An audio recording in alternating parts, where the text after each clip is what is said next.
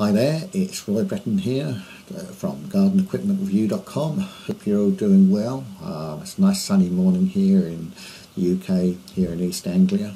Um, it's cold but it's sunny, so good start to the day.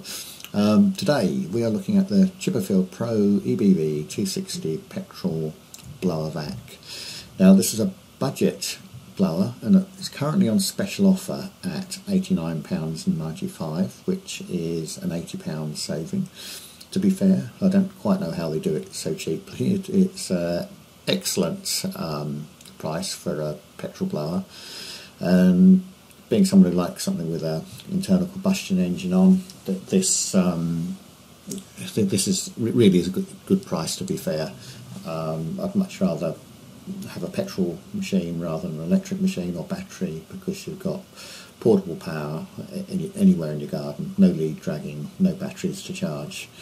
So um, this this um, blower, it's got um, it can blow, it can mulch, and it can vacuum. Now I've used um, these, not this particular machine with a vacuum on. I've used other machines with a vacuum on and a collection bag, and they work fine. But they are slow. It's alright if you've got a small garden, but for me, I find it much easier just to blow blow the leaves, for example, and uh, then blow them into a heap and put them on a compost heap for later use once the compost has matured. It can be used on the garden, which is uh, a great benefit. So that's just my personal opinion. I, I just think it's far quicker to blow. However, as I say, they do work, uh, just just a bit slower when you're vacuuming. So um, let's have a look at the features.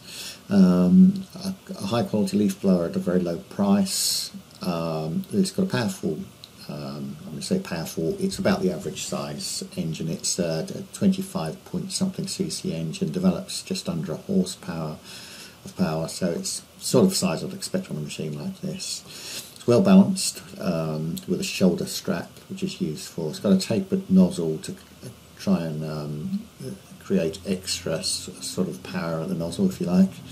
Uh, rubber mount, so if you put your machine down and you've left it running on tick over, it won't damage the underneath because it's got rubber mounts. Um, excellent reviews. Uh, reviews. Um, there's uh, the reviews come out at 4.6 out of 5 so people are obviously uh, pretty pretty satisfied with their purchase. And it comes with a one year manufacturer's warranty. In case you're looking for any for uh, a leaf blower I have put a link here.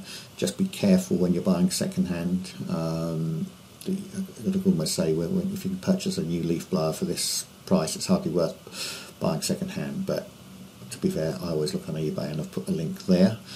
Um, I think that's about it. Um, so yeah, to conclude, I've just just put that it does offer excellent value for money with an eighty pound discount at the time of writing. Um, if you've got any comments, please uh, comment here in in the in the comment box. We'll try and reply. I'm going to embed this video into this blog post. Uh, please feel free to like our YouTube channel, to have a look at the other videos, and um, to subscribe to our channel. So uh, thanks very much for watching. I'm going to embed this video somewhere around here, and uh, I look forward to seeing you next time. Thanks very much for watching.